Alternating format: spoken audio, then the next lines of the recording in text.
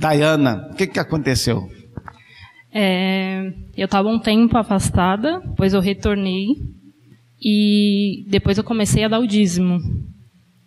Aí depois que eu comecei a dar o dízimo, comecei a é, dar o sacrifício, eu fui em dia 2 de novembro para o Monte Manaim. Após isso, eu consegui comprar meu primeiro carro. Eita, glória a Deus! Escuta, irmão, ela falou comigo assim: posso falar? Meu dinheiro não está dando para nada. Eu estou pegando o dinheiro e eu não sei o que eu estou fazendo com o dinheiro, está sumindo. Pago as contas e continuo devendo. Falei para ela: firma com Deus, você vai ser dizimista para dar o equilíbrio nas suas contas. Aí ela foi no Monte Manaim. Ela foi decidida aí. E toda semana começou a devolver o dízimo.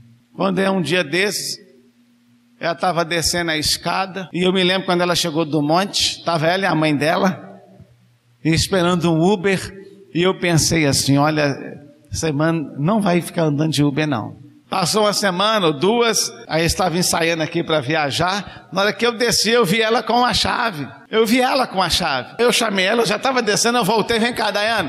Olha, você tem carro? Falou, não. Você vai comprar um carro? Aí ela foi e falou comigo, bicho, eu já estou comprando meu carro e eu vou pegar meu carro para a glória de Deus, irmão. Olha só.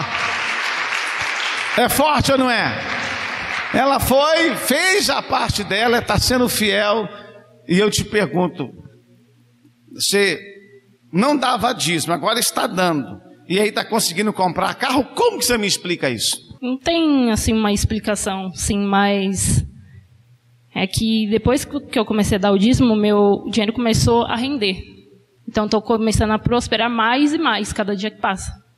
Deus, bate aquele sino lá, bate aquele sino, bate aquele sino. Ela fica meio envergonhada, mas tem que contar, irmão. Bate esse sino de vitória, bate o sino da glória a Deus. Ação de fé forte, ação de fé vence a morte, ação de fé